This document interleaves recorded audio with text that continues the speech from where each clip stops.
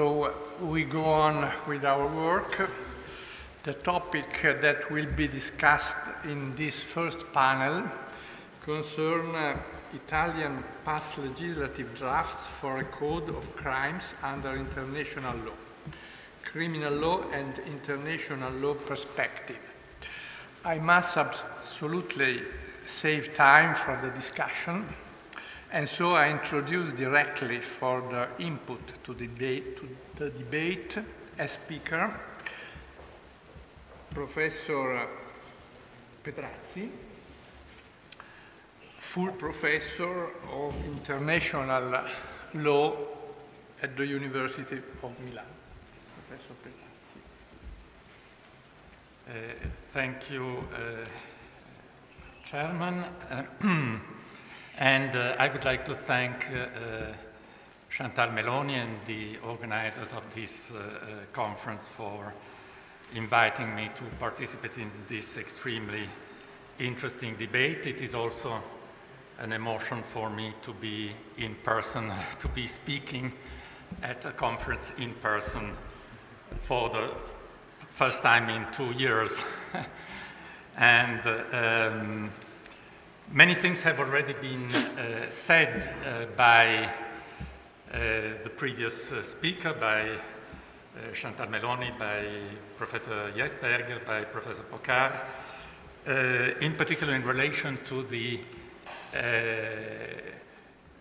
to the situation of the Italian uh, legal system with regard to the Rome Statute, to the fact that uh, the Rome Statute has only been partially uh, implemented uh, in the Italian legislation uh, up till now with the law of 2012, but uh, in particular the situation of the implementation of crimes has uh, not uh, been uh, undertaken. we know that various commissions were established uh, since the beginning of the year 2000s to make proposals for the implementation of the Rome uh, Statute, and these proposals, such as those of the Commissione Conforti, provided both for the introduction of international crimes and for the procedural provisions which would enable cooperation between the Italian authorities and the International Criminal Court. Um, however, all the procedures uh, within Parliament, also the other com commissions and the other uh, drafts uh, which were introduced into, in Parliament uh, uh, led, to, uh, led to nothing up, till, up till today. Um, so we can say that, to speak about the current situation of the Italian legislation, we know that the uh, genocide has been, uh, the crime of genocide has been uh, in, introduced into the Italian legal system. We know that the situation of war crime war crimes is a kind of a messy situation. Uh, I'm not going to go into the details, but I will just recall the, that the implementation of war crimes is incomplete and problematic under various uh, respects, and it has already been, uh, been mentioned before. And Italy has never implemented the crimes against humanity. Uh, obviously, uh, a good number of them would be punishable as ordinary crimes, but uh, some of the conducts regulated in the Rome uh, Statute are not uh, subjected to uh, criminalization. In uh, uh, Italy, so I'm going to go into a brief analysis of the various drafts, draft law proposals that have been introduced in the uh, Italian uh, parliament during uh, the first decade of the year 2000s. um, and the interesting aspect of these drafts uh, is that they contain what is missing in the Italian law of 2012, which means uh, the uh, introduction into the Italian legal systems of the crimes included in the Rome Statute.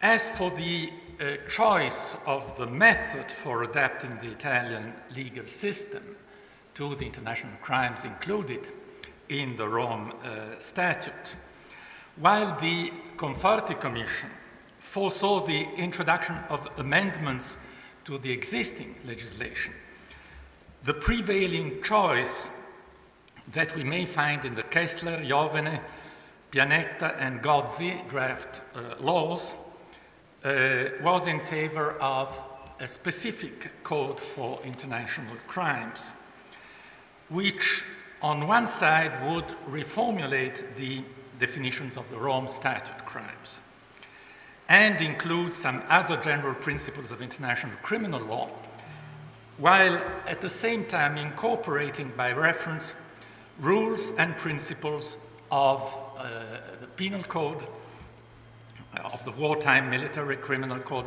peacetime military criminal code and, and other laws. The scope of the various drafts is, uh, however, different, as on one side, Pianetta, the Pianetta draft, was merely including uh, genocide and crimes against humanity while delegating, to, delegating the government to adopt legislative decrees to modify and integrate the existing rules relating to war crimes. On the other side, the Kessler, Iovene, and Gozzi drafts, which are in fact quite similar to each other, uh, included all three categories of genocide, uh, crimes against humanity, and war crimes.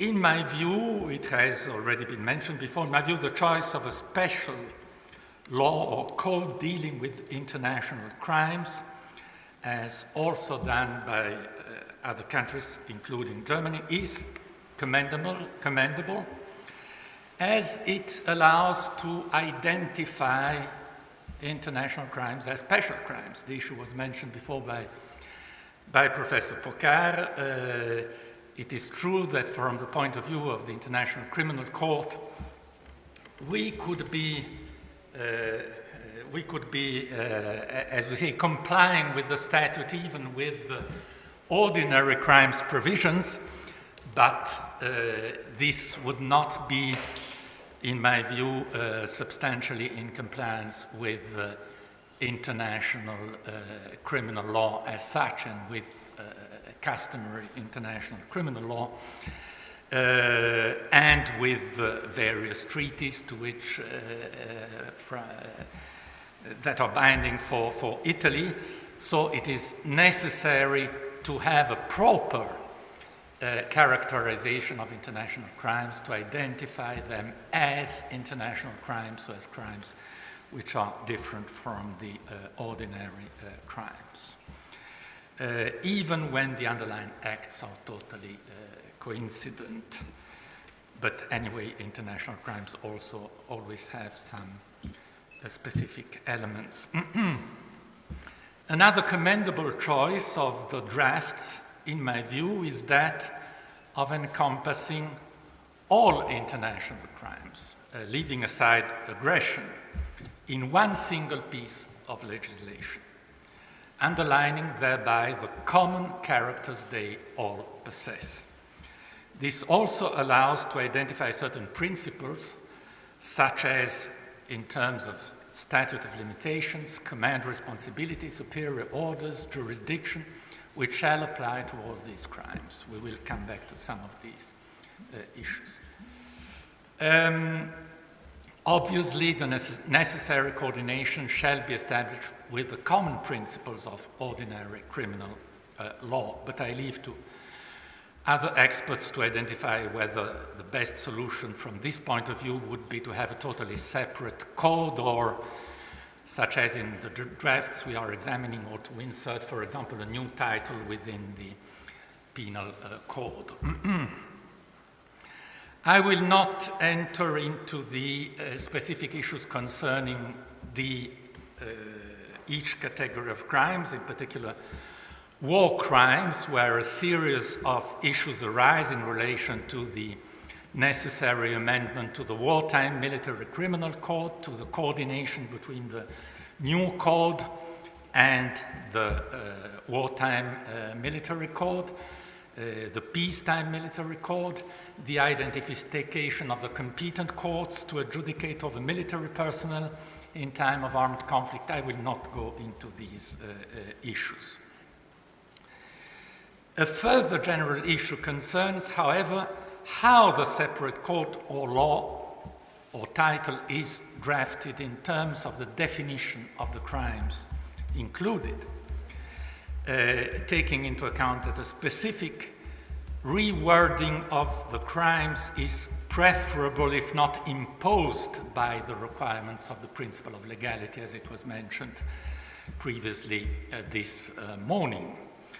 Um, one possible way, and uh, already Professor uh, Jessberger uh, introduced to these uh, aspects, one possible way consists in the mere reformulation in the Italian language of the definitions of the crimes that one finds in the Rome Statute, which is basically what happens in the drafts we are examining.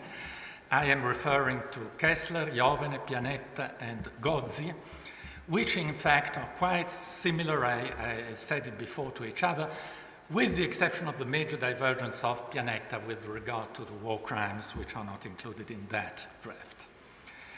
Uh, these drafts basically reproduce the crimes listed in the Rome Statute according to the definitions contained therein, with minor divergences from or integrations to, su- to such uh, definitions. They all add a reference to the statute and to the elements of uh, uh, crimes adopted by the Assembly of States Parties in the article concerning the interpretation of the law Although these articles contain more general references to international criminal law and the case law of international tribunals, which would open the door to possible broader influxes in the interpretative uh, process. Uh, if these influxes are not anyway granted by other rules of uh, uh international or national law.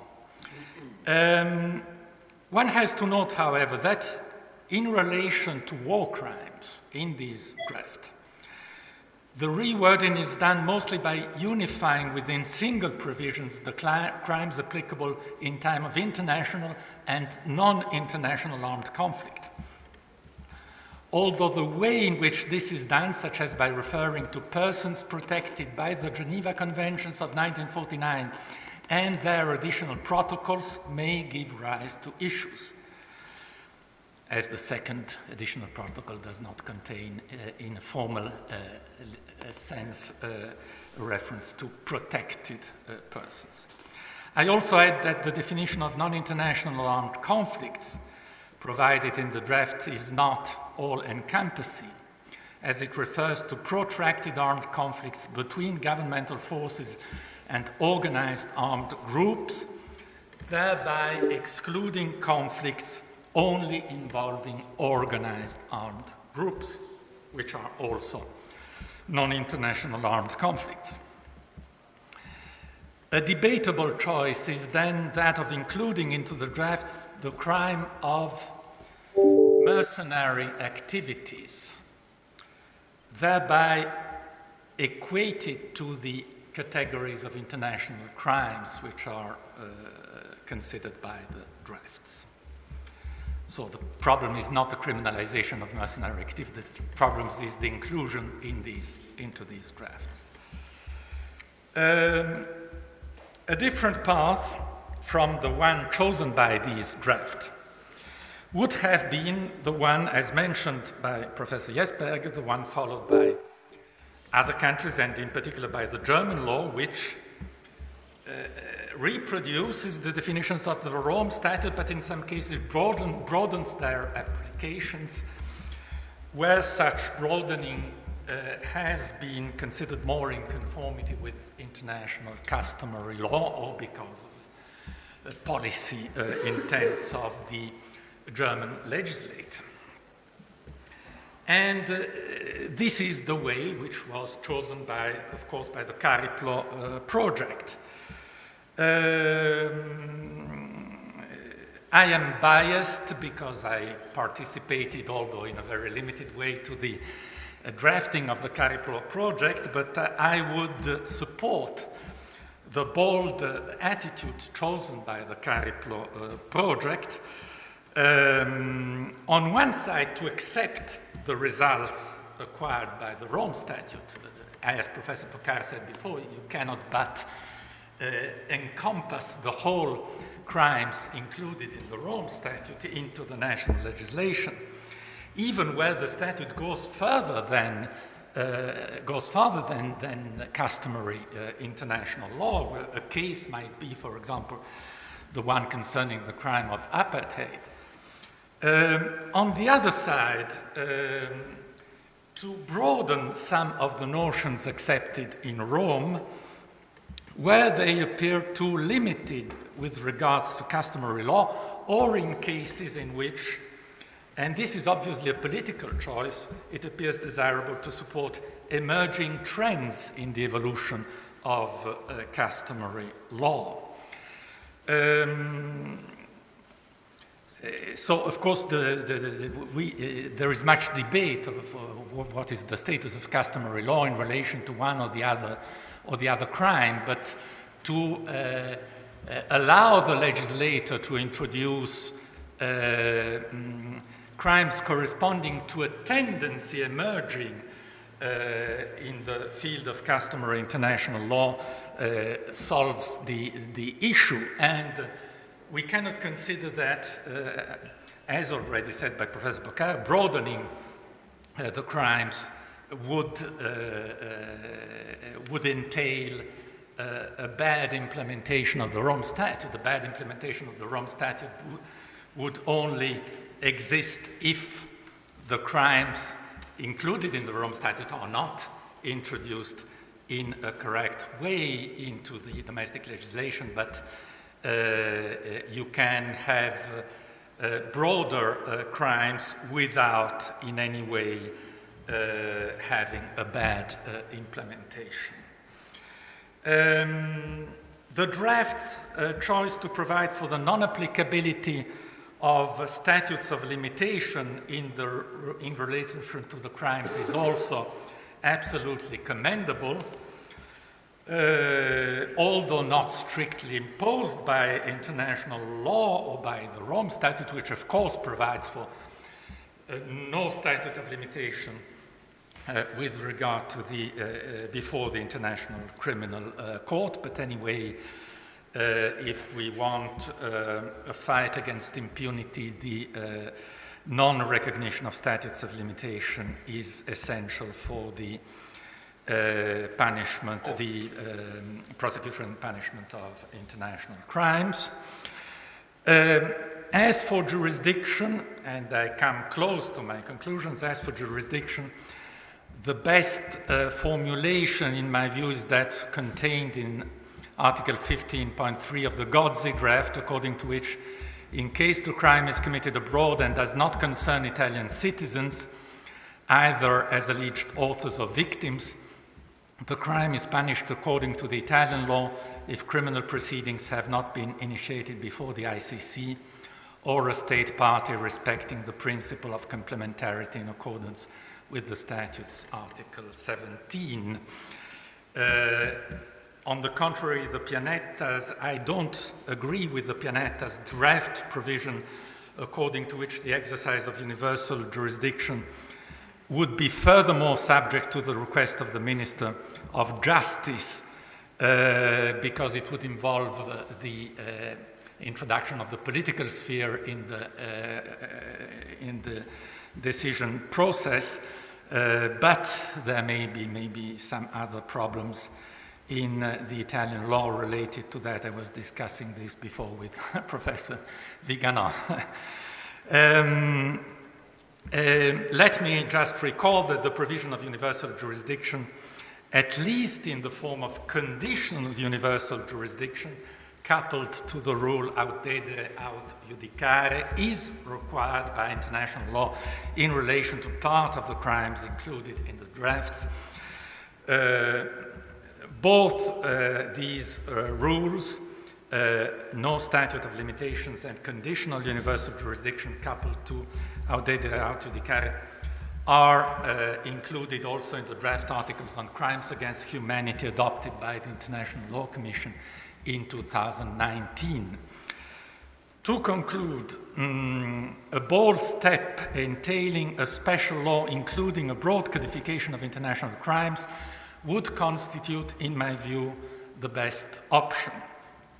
Under a realistic view, I shall, however, notice, and some mentions were done before, that in this country, the political will to undertake effective measures to fight international crimes seems to be lacking, as also demonstrating by the rather depressing story of the implementation of the crime of torture in our legal uh, system. And I look at my friend Antonio uh, Marchesi. uh, therefore, I think that already the adoption of a draft which would merely incorporate international crimes into the Italian legal uh, system as defined in the Rome Statute, although not entirely satisfactory, would be in the present circumstances a welcome miracle. But we have, of course, to fight for uh, the best solutions and to try to push for them uh, for the future. Uh, thank you very much.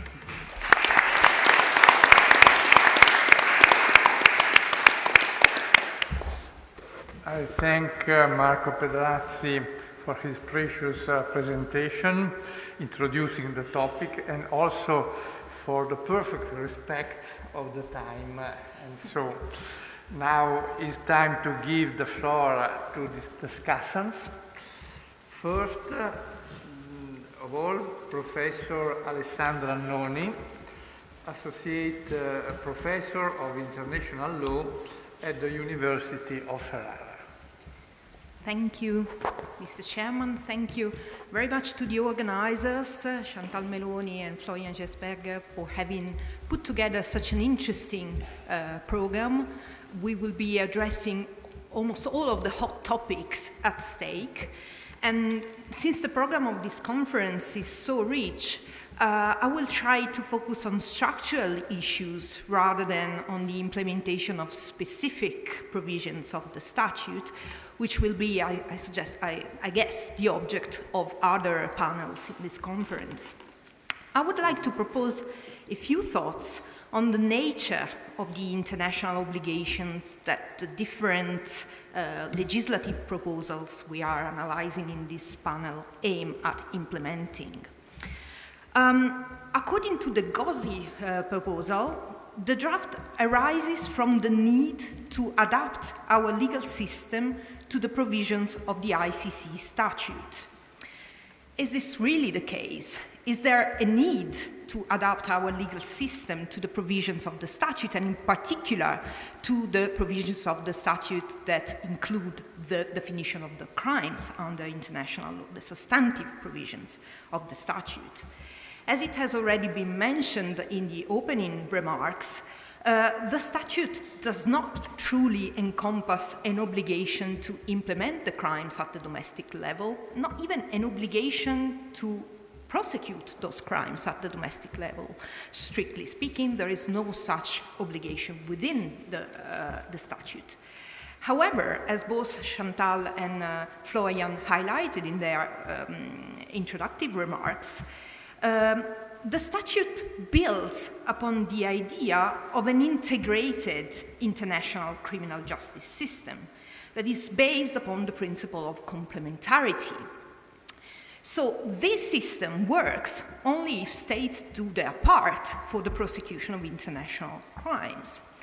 So there might not be uh, an international, fully fledged obligation stemming from the statute to implement the crimes at the domestic level, but still, I think there is a need to do it, and a need to do it properly. On the other hand, as it has already been mentioned, and as the preamble of the statute also recalls, the statute is not the only possible source of international obligations in this field. All states, including those that have not ratified the statute, have a duty under customary international law to exercise their criminal jurisdiction over those responsible for international crimes. This might perhaps not apply to all the crimes listed in the statute, but it does apply to most of them, at least when the crime is perpetrated on the territory of the state.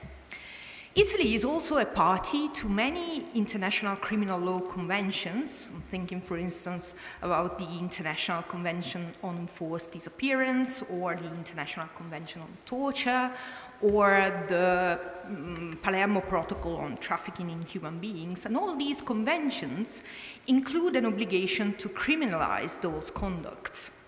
Moreover, the obligation to criminalize heinous violations of human rights stem also from the duty to ensure respect for human rights that is provided under many human rights conventions. So, in a way, the implementation of the ICC statute is an opportunity to fulfill international obligations that bind our country regardless of the statute. The existence of such obligations, such other obligations, should always be borne in mind when we interpret the domestic rules that will be enacted uh, to implement the statute, and this in order to avoid fragmentation. In this respect, I am particularly fond on, of the rule on interpretation as drafted in Article 5 of the Pianetta project, whereby, when interpreting the rules included in the law, the judge should always take into due consideration the need to ensure the coherent application of international law, with special reference to international criminal law, the principles and rules of the statute, the elements of crime, and the judgments of international criminal courts. Now, the reference to international criminal law as such is perhaps a bit generic, but still, it clearly points at rules of international criminal law other than those included in the statute. And this is why I prefer this formulation to the ones included, for instance, in the Gozzi, Iovene, and Kessler drafts that refer only to the statute and to the elements of crimes.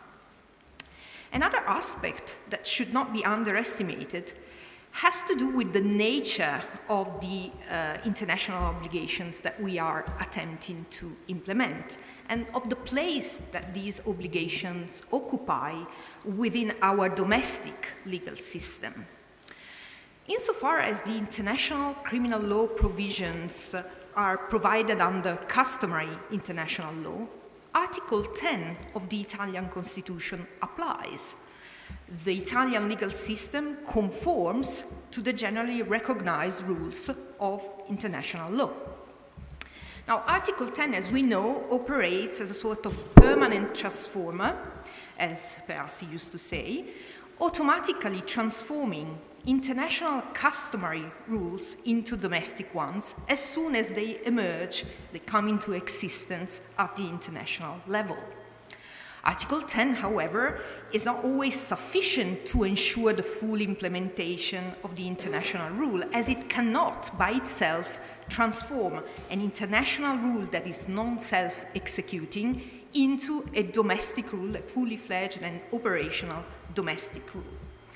Now, simplifying tremendously, the obligation to criminalize certain international conducts is not self executing at least because it lacks sanctions. Uh, and this is why we need legislative proposals like the one we are discussing uh, in this panel today. Yet, the fact that a customary international obligation is not self executing may render Article 10 insufficient to guarantee its implementation at the domestic level, but will not render Article 10 completely irrelevant. The mechanism of renvoi of Article 10, paragraph 1, operates nevertheless, allowing the international rule to produce some effects within our domestic legal system. Albeit not immediately effective, customary international criminal rules circulate within the Italian legal system and must be coordinated with the other rules that compose that system. This entails a number of consequences. First of all, the application of the presumption of conformity. Domestic rules should always be interpreted, when at all possible, of course, in the way that better ensures the fulfillment of the international obligation. This applies to the rules that define the crimes, for instance, Article 600 or 601 of the Italian Criminal uh, Code should be read in the light of the international rules on slavery and trafficking in human beings. But also, this reasonment, the, the presumption of conformity, uh, also applies to the rules of the general part uh, of criminal law, when they are applied, of course, in respect of um, conducts that amount to an, an international crime. I'm wondering, for instance, if the Corte d'Assise d'Appello of Rome was not inspired by this presumption of conformity when it applied the domestic rules on co-perpetration, articles uh, 110, etc., of the Italian Criminal Code, in a pretty extensive manner, so to say, in the Condor case.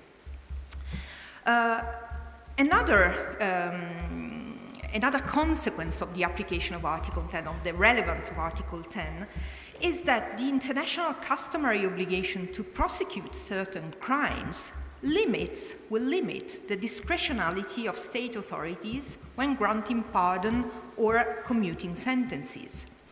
This happened, for instance, when the Procura Generale within the Corte d'Appello di Milano expressed its opinion against the granting of presidential pardon to Colonel Joseph Romano III, who was implicated in extremely serious crimes against international humanitarian law. That was an opinion delivered in 2013. There is a very last element I would like to highlight. Substantive rules of the special part of international criminal law might not be self-executing, but does this also apply to the rules of the general part? Take, for instance, the rule whereby international crimes should not be subjected to the expiration of statutes of limitations, Article 29 of the statute, which is probably by now a rule of customary international law. The relevance of Article 10 of the Italian Constitution in this field, in this respect, was invoked in the Hass Priebke case, uh, which was decided by the Military Tribunal of Rome in 1997. The international rule on the uh, irrelevance of statutes of limitations per se is self-executing, is self-sufficient. So it would, if it's immediately effective, it should render Article 157 of the Italian Criminal Code unconstitutional because of the contrast with Article 10 of the Constitution, insofar as this rule is applied to conducts that amount to international crimes uh, under international law. This, of course, unless we consider that the international rule runs counter of a fundamental principle of the Constitution. Is this the case? Can Article 25 of the Constitution operate as a counter limit in this case? I certainly do not have the time to explore this issue, and perhaps someone else will tackle this in another panel. But my personal perception is that the arguments that were used by the uh, Constitutional Court in the Taricco case to shake the ghost of counter limits against a new rule that could have an impact on statutes of limitation provided under Italian law. Mm, the, the reasons, the arguments were basically indeterminacy and retroactivity. Well, perhaps those arguments would not be that relevant and would not apply in respect of an international rule that makes statutory limitations irrelevant for international crimes. Thank you very much for your attention. Thanks, Professor Annoni, for her interesting uh, presentation. Now, Luigi Foffani, professor, full professor of criminal law at the University of Modena and Reggio Emilia. Thank you very much, Mr. Chairman. I only have uh, seven minutes for my speech. Ten, ten. Ten, okay. But I need to spend uh, 30 seconds for some preliminary thanks. First of all, thank you very much to Chantal, Florian, Maria, and all the organizers of this very interesting, fascinating, and interdisciplinary initiative. And thank you very much also to the Humboldt Stiftung. The Humboldt Stipendium was very important in my career, in my period of formation in Germany, at the beginning of this millennium, and a lot of uh, friends and colleagues in Italy and abroad uh, had a similar experience. But enjoying a Humboldt stipendium means also this fantastic possibility to organize and to participate in a Humboldt Kolleg, a very stimulating occasion of uh, uh, scientific international exchange between former Humboldtiana. And now about uh, the subject of this panel. My perspective is that uh, of uh, a criminal lawyer, of course, and precisely a criminal lawyer who has no significant large experience with uh, international criminal law. Nevertheless, I would like to propose a couple of very short considerations. First of all, one about the structure of the legislative projects.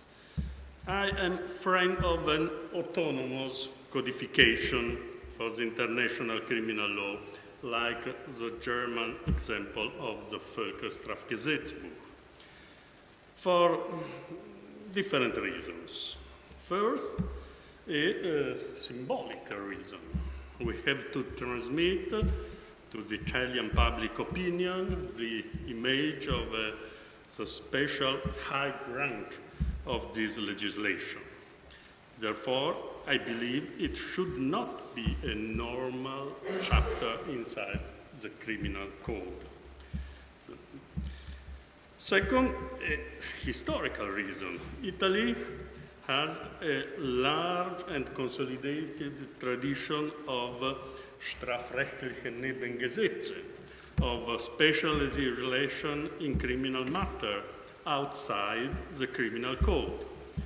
There is no doubt that for the domestic international criminal law, there are good reasons to confirm this historical trend of the Italian legislation.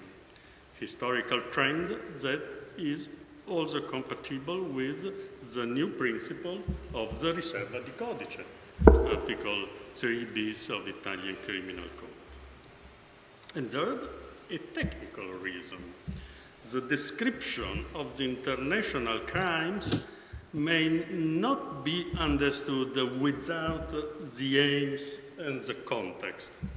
The aims for the crimes of genocide and the context for crimes against humanity and war crimes. Without this reference to the aims and or the context, the legislative description of these crimes is often too poor, too synthetic, too large, and too vague. For example, the description of the crime of terror, Article 39 of the Cariplo Project, or of the crime of plunder, Article 33, is too synthetic and vague if compared with the national crimes of terrorism in the Italian or other European criminal codes. The description of the crimes of hostage taking, Article 26 of Cariplo Project and uh, Article 78 of the Kessler Project, and also Iovene and Gozzi Project, is um, too large if compared with the national provisions about the crimes of kidnapping, sequestro di persona. The legal description must always be integrated and clarified within the context.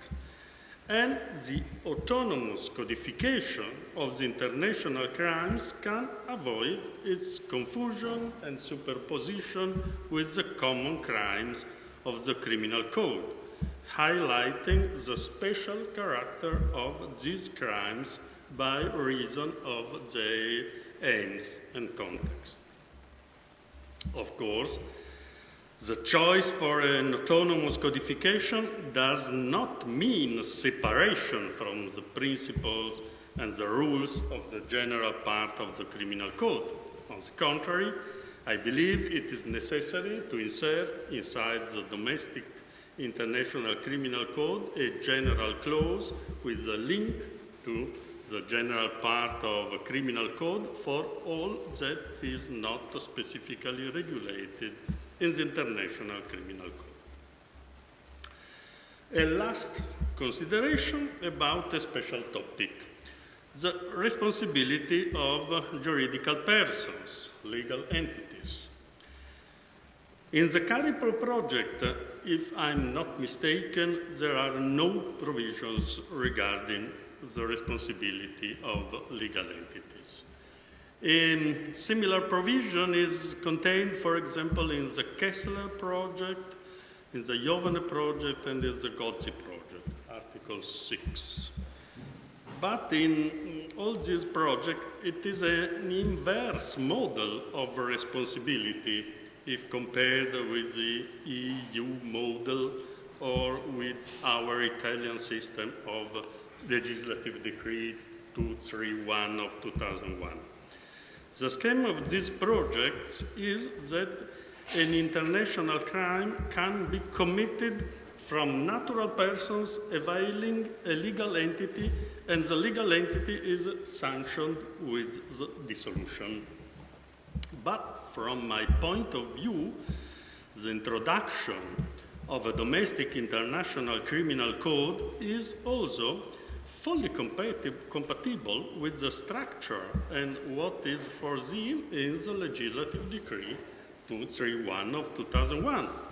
It means that a juridical person and every uh, legal entity may, may be punished with fine and in most relevant case with interdiction and dissolution when the crime is committed by a natural person in favor or in the interest of a juridical person, which has not adopted an efficient model of organization, compliance program.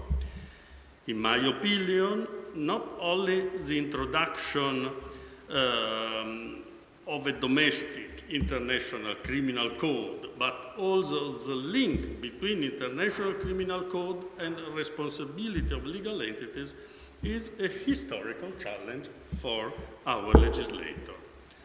On the one hand, there is theoretical the problem of an eventual responsibility of public entities like national states, but there is no legal basis in international law, and it is also not possible for our national legislator. It would be an authentic revolution for the model 231. But on the other hand, there is the concrete uh, possibility to introduce a responsibility of legal entities for international crime in the private sector. Our colleague Adán Nieto, for example, has presented a project for the introduction of an international crime of ecocide with responsibility of juridical persons. But I think that the introduction of a domestic international criminal code is the best way to introduce a general provision about the responsibility of multinational enterprises and every corporation that in their abroad activity in dangerous countries with conflictive situations, uh, civil wars, etc., have not an adequate compliance program for the prevention of international crimes. And an international crime is committed in its favor or in its interest. In a recent decision of the Court of Rome, a corporation was convicted because it had no adequate provision of socio-political risks in its compliance programs. And an employee of this corporation was uh, kidnapped and murdered in Libya during the exercise of his job. It can be a good model for a more general implementation of compliance programs for the protection of human rights and for the prevention of international crimes. To activate every corporation, and especially the great multinational enterprises, for the prevention of international crimes in the countries where they exercise their activities could be a very important juridical and political instrument to preserve peace and legality all over the world. Thank you very much for your attention.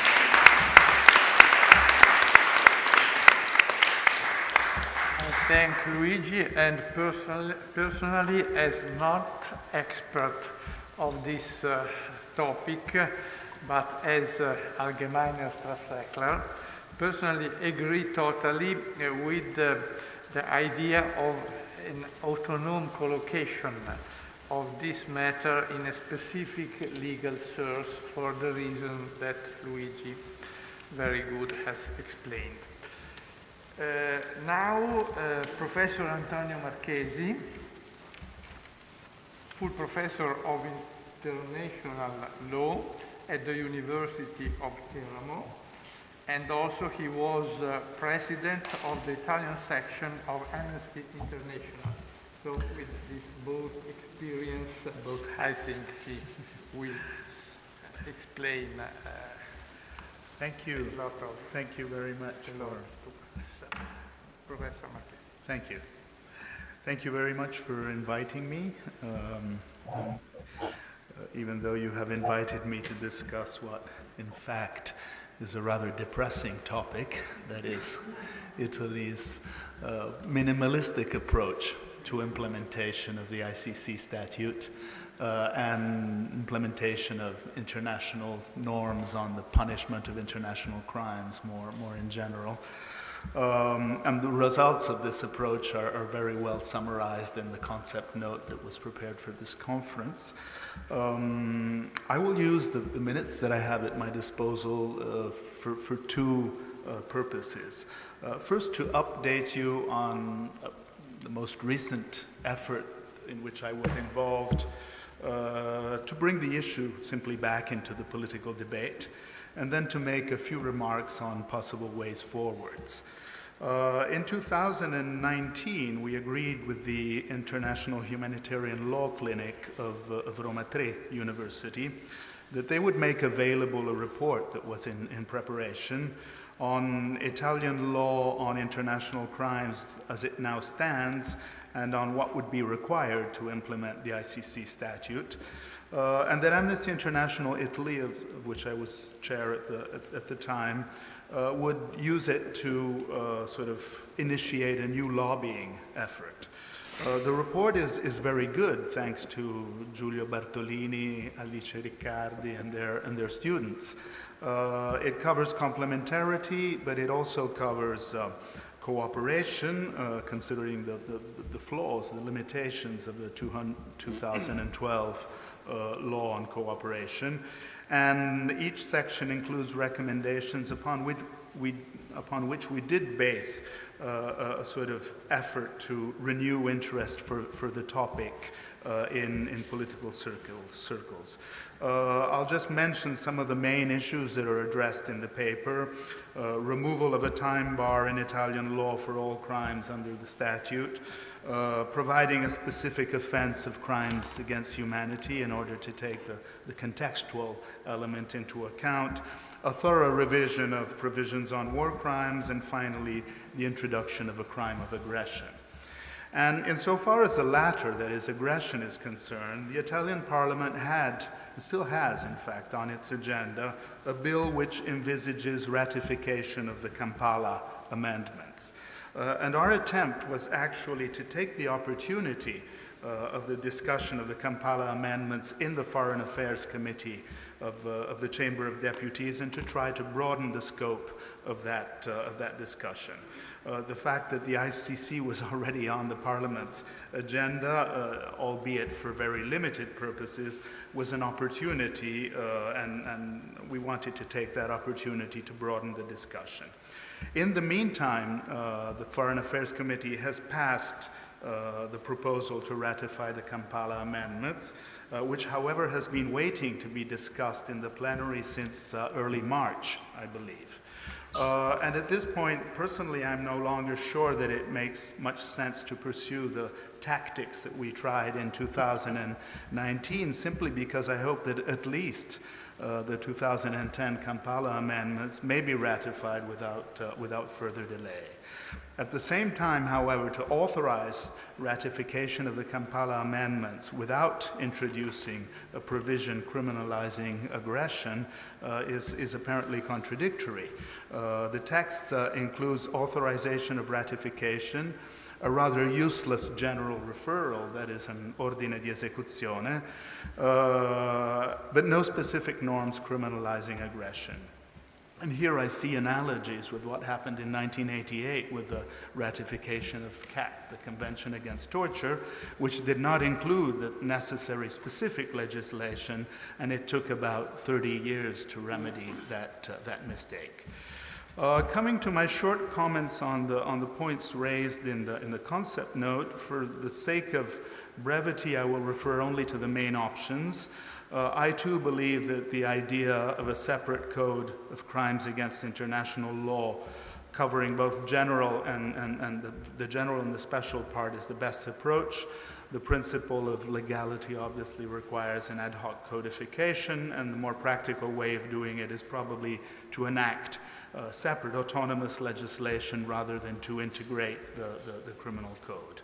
And with regard to the general part, uh, a referral could be made to the principles in the ordinary criminal code except when ad hoc provisions are required. That is, command responsibility, immunities, maybe superior orders, statute of limitations. Uh, as a side comment, let me say that uh, constitutional restraints, including the principle of, of, legality, are, in my experience, very often referred to in, in the parliamentary debates uh, far more than international obligations. And that is perhaps simply because MPs are very uh, likely to be more familiar with constitutional rather than with, uh, with international law. And these constitutional restraints are often overstated, uh, in my view. During the discussion on the, on, on the crime of torture, reference was often made to the fact that it was not possible to use the international definitions because they were not in conformity with the principle of determinacy, which I believe is, is far from convincing and simply reflected mistrust uh, for international law rather than a genuine legal concern. Uh, let me say very briefly something about possible ways forwards. Um, assuming that I mean, the aim of this conference is, is to help achieve practical results, not only sort of to pursue uh, legal perfection in the, in the abstract.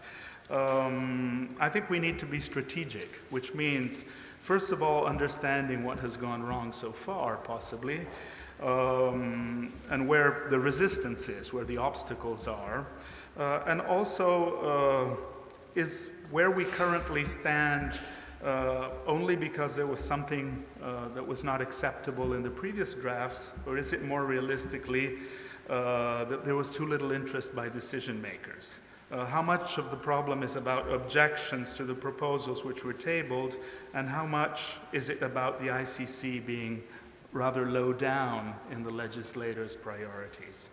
Now, if the latter is true, and I believe that at least in part it is, uh, in addition to looking at the previous drafts, uh, although I believe that the Cariplo draft is not only excellent but also rather recent, uh, the point is ways of finding, ways of triggering interest in decision makers. And that is an extremely difficult task.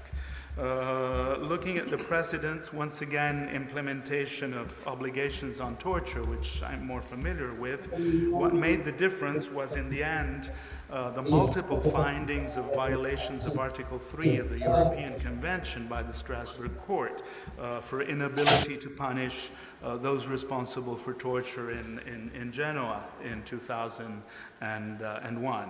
Uh, that is what, after decades of stalemate, and notwithstanding the repeated criticism by the treaty bodies, really convinced the Italian authorities to introduce a specific, uh, albeit not satisfactory, uh, offensive torture. Um, so, in my feeling, um, we need to sort of look for a creative strategy to force decision makers to pay more attention to the issue and place it on their agenda.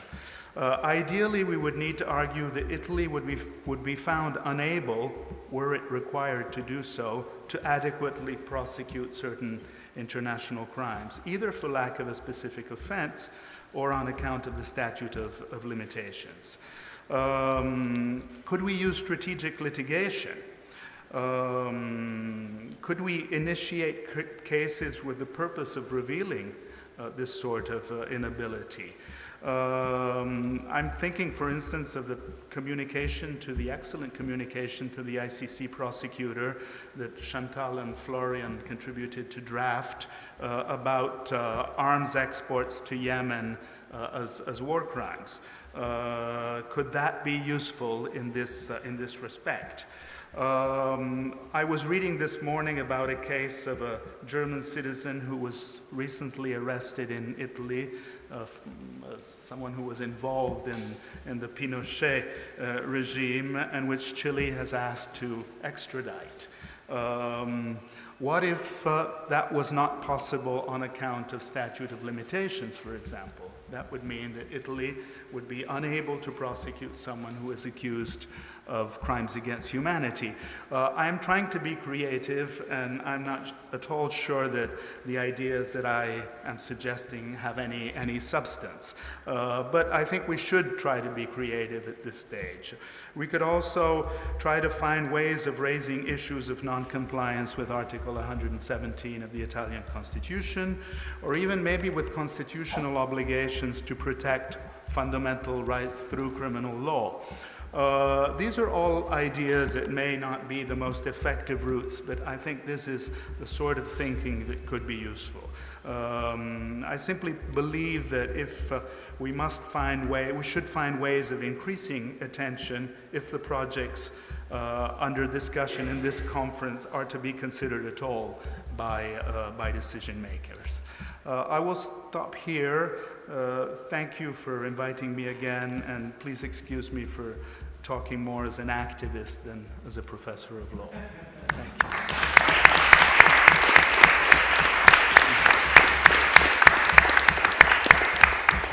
Thank to Professor Marchesi for his interesting uh, presentation. And now I think we have uh, one uh, an online uh, participation. It's right.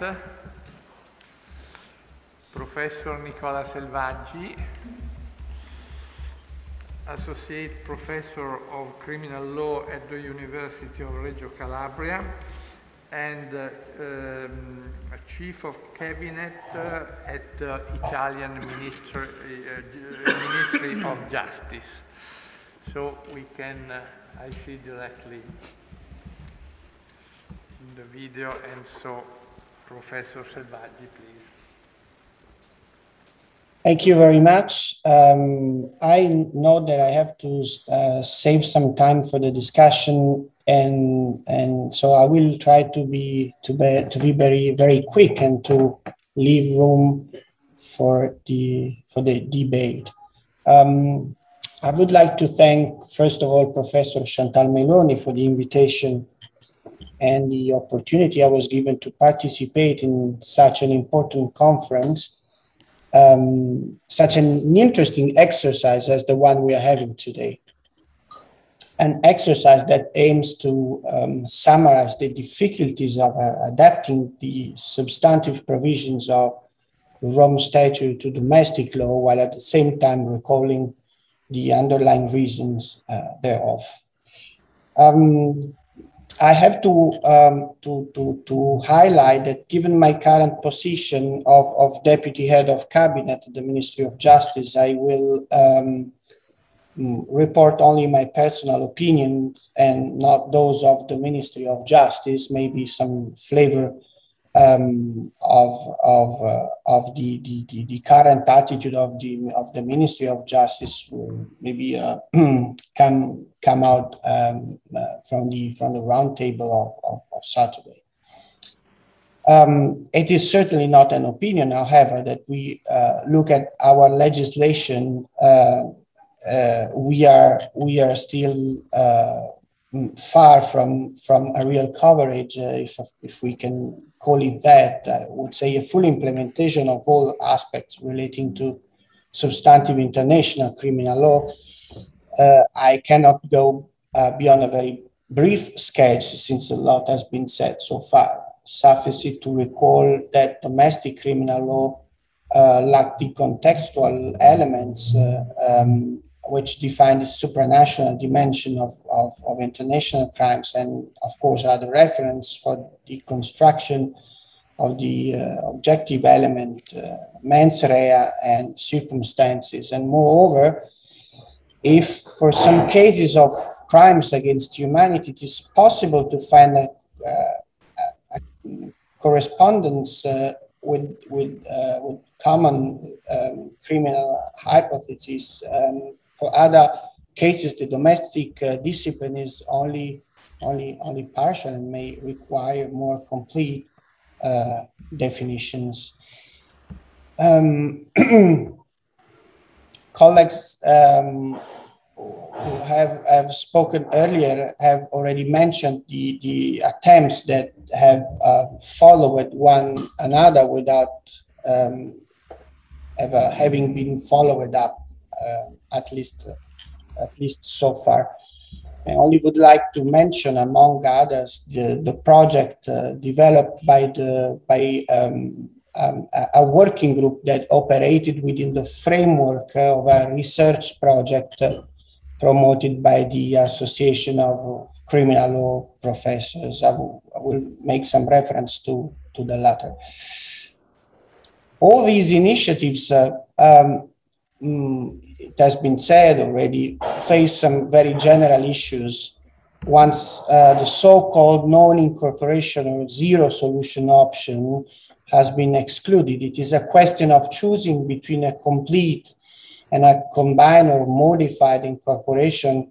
And as far as forms of combinations are concerned, it is a question of evaluating the path to be followed between inserting a specific title in the penal code or um, drafting a bill with an, um, an autonomous normative uh, body, which is characterized uh, by internal systematic uh, nature. The latter possibilities, for example, the one taken into consideration by the Bill uh, Kessler, where uh, there is no uh, lack of, of interventions on code in force, but on the whole, as is known, the aim is to include the provisions in, in a sort of, of international uh, penal code with, with provisions of a general nature um, as well. Other exercises, such as um, the one developed by the working group that I have mentioned before of the Criminal Law Professors Association,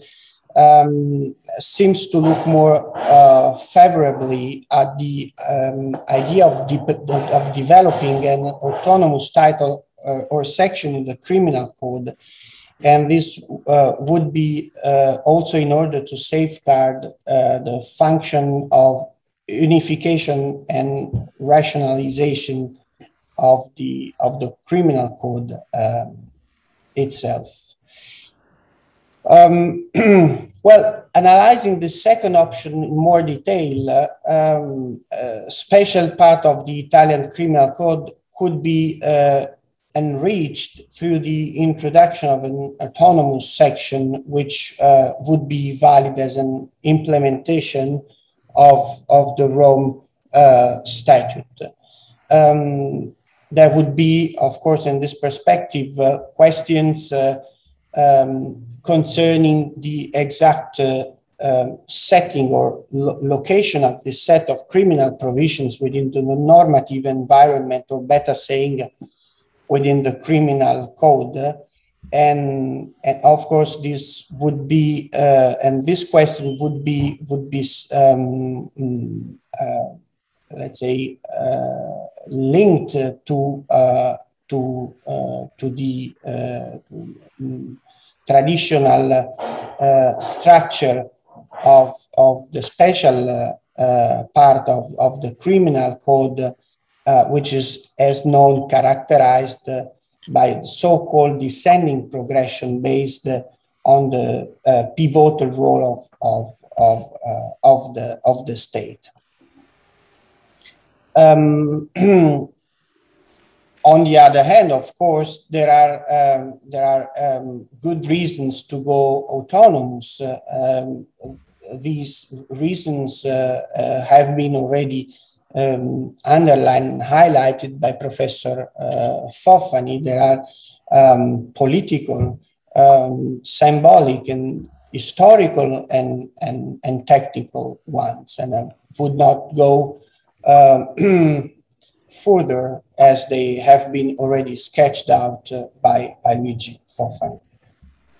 Now, um,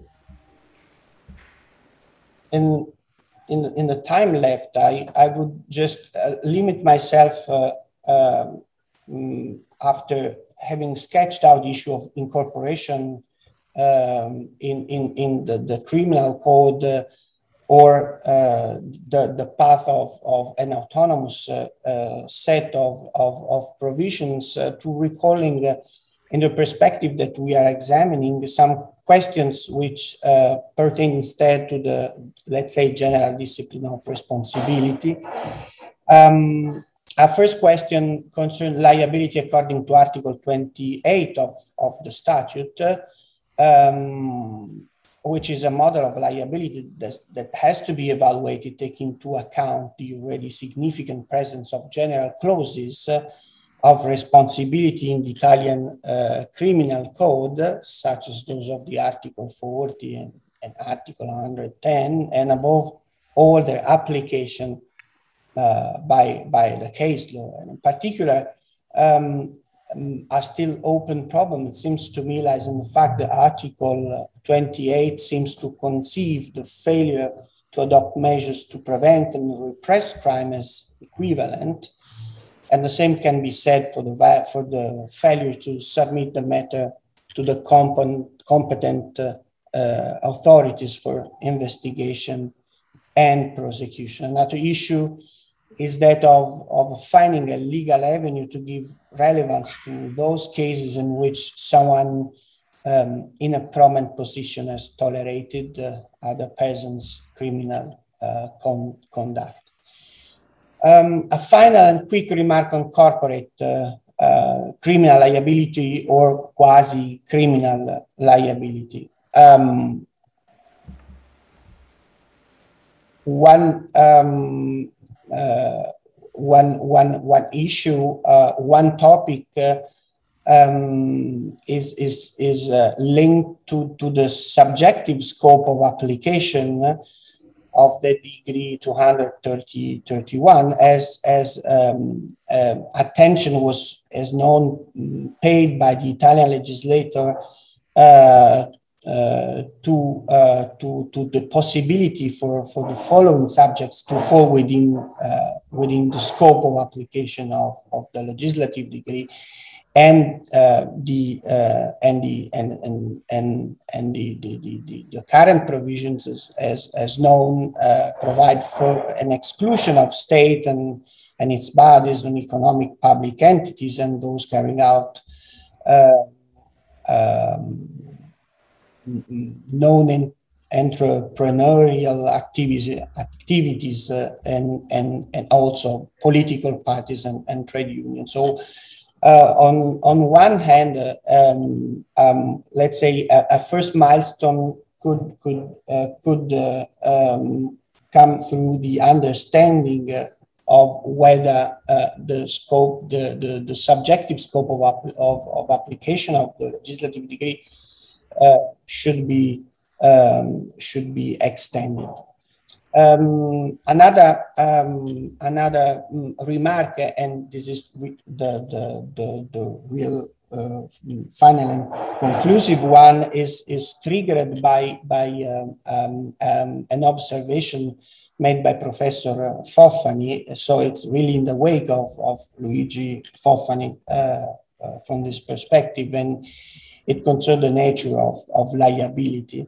Um, since uh, uh I don't have to go through the, the, discussion on, on the nature of liability as provided for by the legislative decree, but it is true that uh, considering the seriousness of the predicate crime in this in this uh, in this uh, case, uh, um, maybe maybe extending liability of legal persons also to international crimes, those crimes provided for by the Statute of Rome, would be uh, a chance uh, that would trigger also uh, again the discussion on uh, introducing uh, finally a proper and genuine form of criminal liability of legal entities. Thank you very much.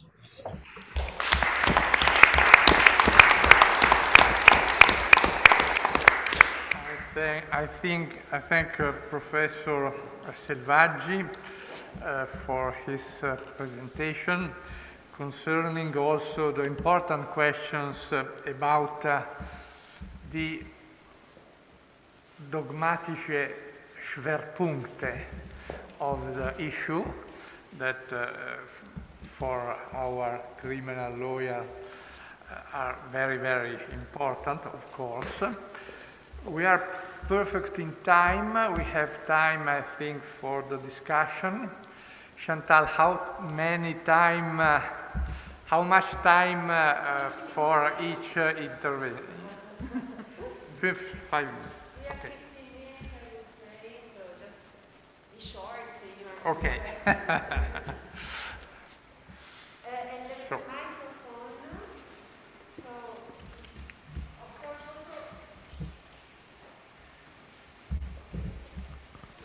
I say it here so that also those online uh, can hear.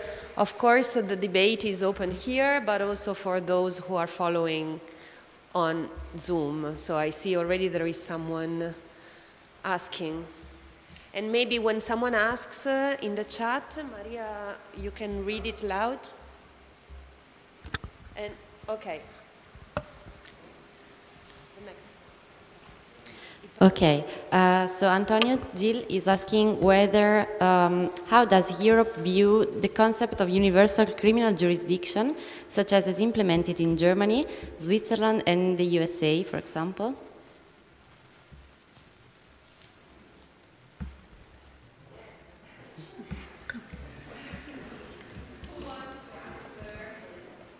Who answer at this question?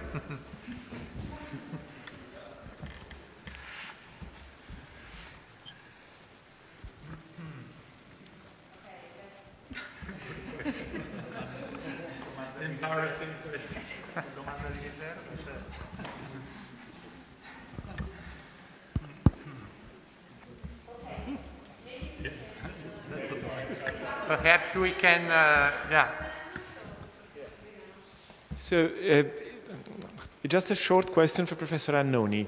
Um, uh, you said before that uh, that Article 10 of the Italian Constitution should allow a criminal court to disapply national domestic rules on limitation if they are incompatible with an international uh, obligation to prosecute some international crimes um, without any, uh, any time limit. So um, I wonder how this uh, could be reconciled with the principles set by the Italian Constitutional Court in the Taricco case. So you mentioned that there must be a difference, but uh, I would like to, to I would like some more elaboration on this concept. Thank you.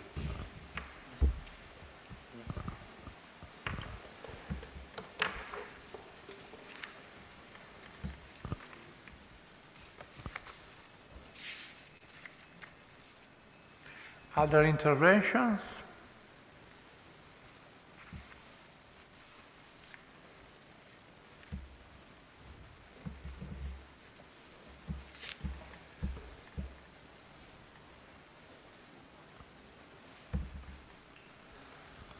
Thank you, Giulio Bartolini, Roma Tre University. Uh, I have one point in dealing with uh, the ways in which you can uh, approach any potential uh, changes in this regard. Uh, we've seen the different solution between a separate code or a modification in the current criminal code.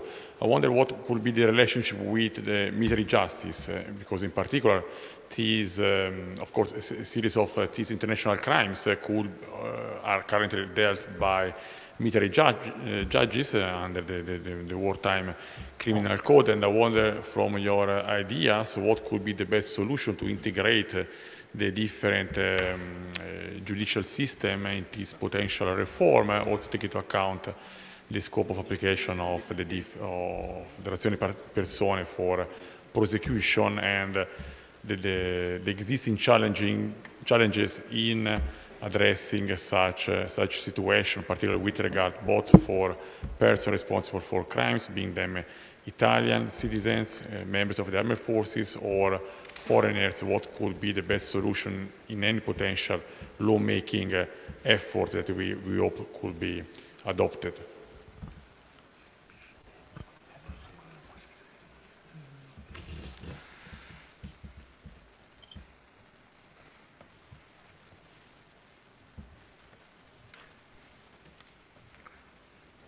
It's all. And so, first uh, question. Yes. Thank you. Thank you for your question. Well, actually, I, I don't think that the Italian judges could disapply the Italian rule on statute of limitation in order to enforce the international one. Uh, but I think that the Italian rules are unconstitutional insofar as they are applied to international crimes. The only way to make sure that this contrast is uh, diluted is resorting to the Constitutional Court. So that is the uh, way forward in my mind. I'm also aware that there could be, uh, there are several issues, issues at stake that should be considered. One is counter limits, the possible of uh, Article 25, as I was mentioning. And the other problem is that we will end up fragmentating the uh, general part of our criminal code that way because we would say the rule on statute of limitation applies to kidnapping when it's just kidnapping, but when kidnapping is enforced disappearance disguised, then the rule of statute of limitation does not apply anymore. So uh, I don't know how the Constitutional Court could end up deciding this issue, but my perception is that it, the court would have to take into consideration the customary international rule and balancing it somehow. Thank you. Just on the question about Europe, first of all, who is Europe?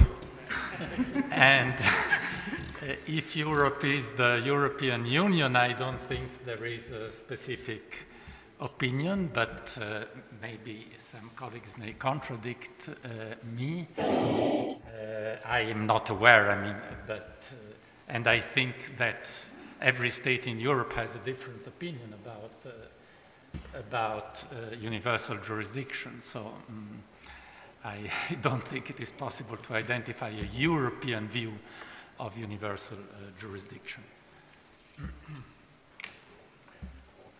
last question was Can I just just add something on what um, Professor Annoni was saying? I, I, fully agree with her answer. Excuse me. um, a similar problem uh, can be raised with, with the issue of torture, notwithstanding the fact that there is now a, a, an offense of torture, because that offense does not carry uh, an extended sort of time. Uh, the, the, ordinary time limits apply. So, should, should torture not be punished uh, in a specific case as a result of, of the time bar, as a statute of limitations? um, in violation or in presumable violation of obligations um, set out in, in, in, human rights conventions to which Italy is, is, uh, is a party. Uh, that could raise issues under Article 117 of the, of the Constitution.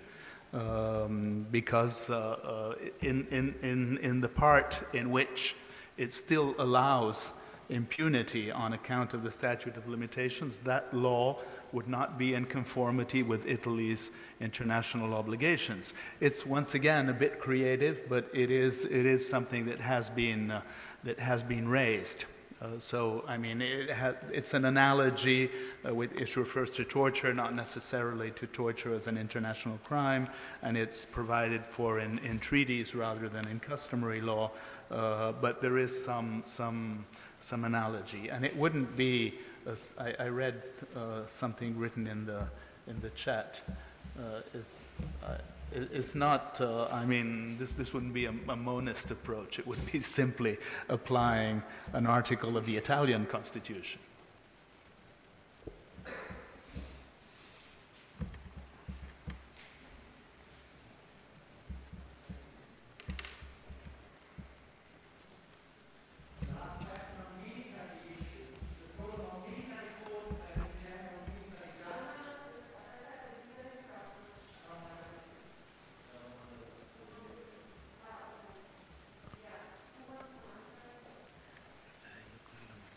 question of Professor Bartolini on uh, uh, how to um, intervene in the competences of military courts and uh, what would be the solution and uh, so in integrating war crimes into a single uh, code uh, of international crimes. Am I interpreting correctly your question? So what would how one should intervene in the uh, issue of uh, Uh, the, the coordinating the different uh, legal uh, different laws and different codes and and also how to decide about the competencies of the military courts or ordinary courts. I have not reflected on this issue, so I'm not uh, able to give my, my opinion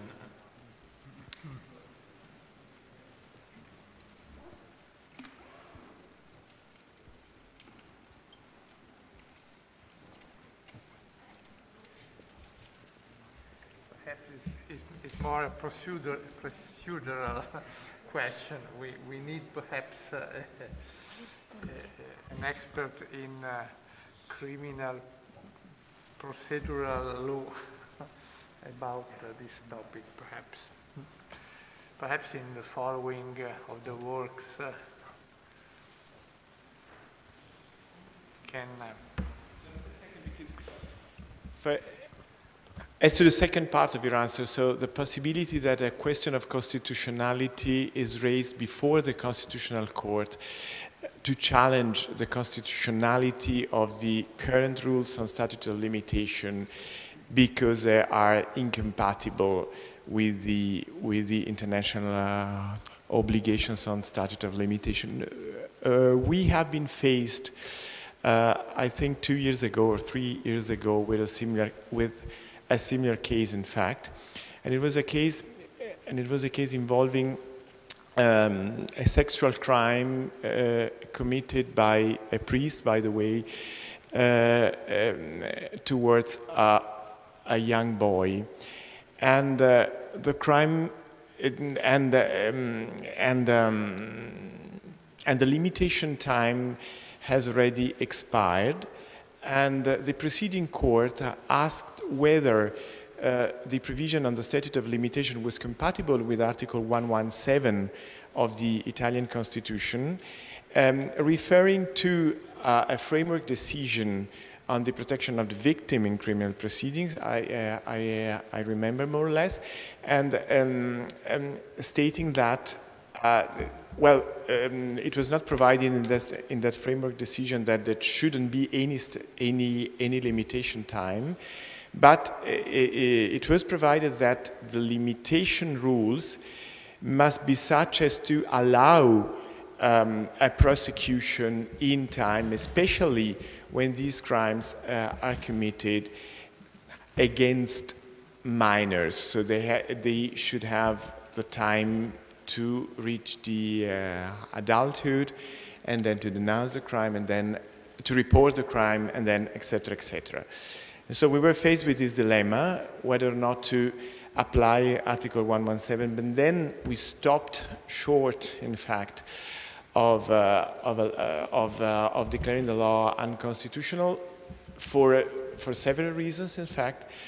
One of the reasons was the, the the, the particular weight of the principle of legality and the need for a defendant to foresee the possible application, which, which, which works, which has been considered to work as a counter limits to the binding force of international obligations. So I think, I think both ways, the, the, or both solutions, the direct disapplication by ordinary courts and the intervention of the Constitutional Court uh, are problematic in a way in this respect, precisely uh, based on the principle set, set in, uh, in the Taricco judgments by the Constitutional Court itself. So it's not an easy, an easy path, I think.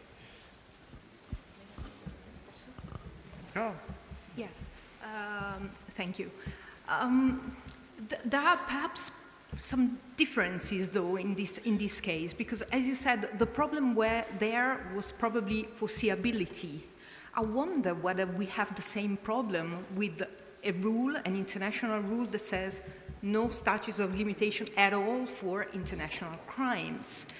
Um, it's a bit like with the Taricco case. In the Taricco case also the court somehow said uh, Article 25 could come into consideration, but there was an issue of determinacy of the EU law uh, that mm, had an impact on the statutes of limitation. There was an issue of retroactivity, and I wonder whether these same arguments could be used against the rule of customary international law that is a long-standing rule of customary international law, and it is very clear-cut, determined, uh, with no exceptions, basically.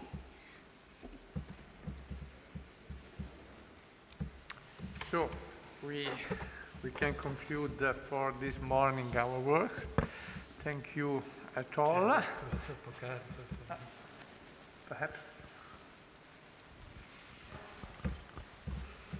Just one, just one word on the statute of limitation. There are two conventions on the statute of limitation that Italy has not ratified. Now, it would be sufficient to ratify them because uh, a rule that declares the crimes are not subject to statute of limitation is self-executing. You don't need to, to have internal legislation. This, the, the order of execution will be, will be sufficient.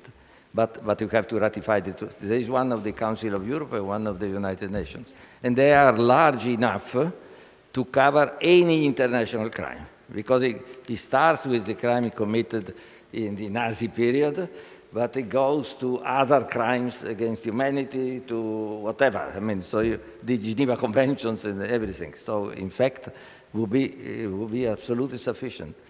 So the legislature could simply uh, could simply accept the convention, ratify the convention. That would resolve the problem totally. Okay.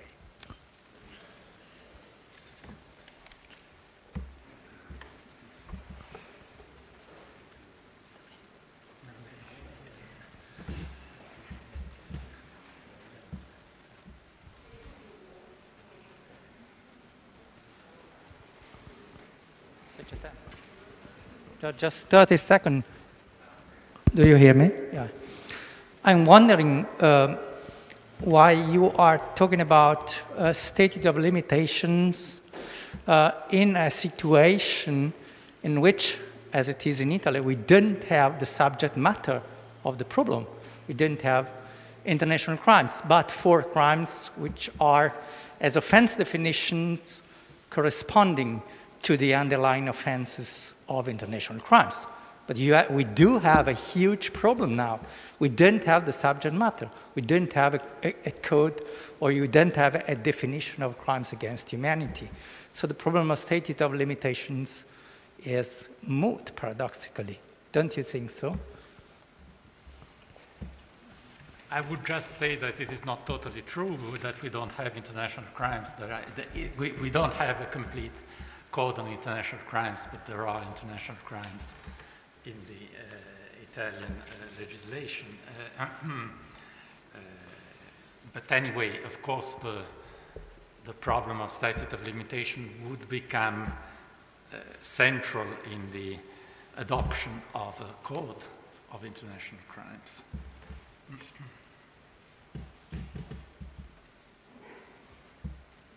So it's all. Thank you all, especially to the participants of this workshop, of this panel.